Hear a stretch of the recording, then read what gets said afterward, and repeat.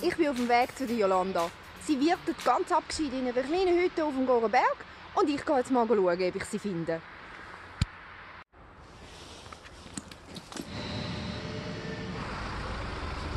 Jetzt habe ich doch tatsächlich meinen Zug verpasst. Zum Glück gibt es noch den Dani, der mich jetzt die erste Etappe mitnimmt.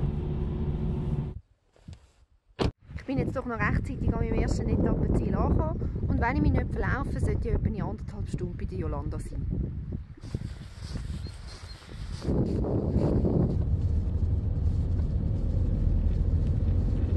Hast du etwas gemerkt?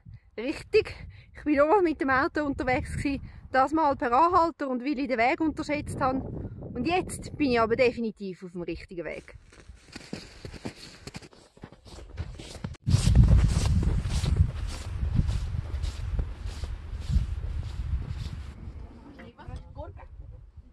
Ohne Käseschnitte. Ja.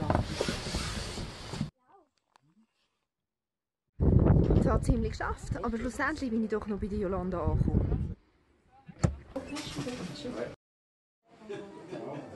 Ich kann dir die Reise hier sehr empfehlen. Mach es einfach besser als ich nimm dir Zeit.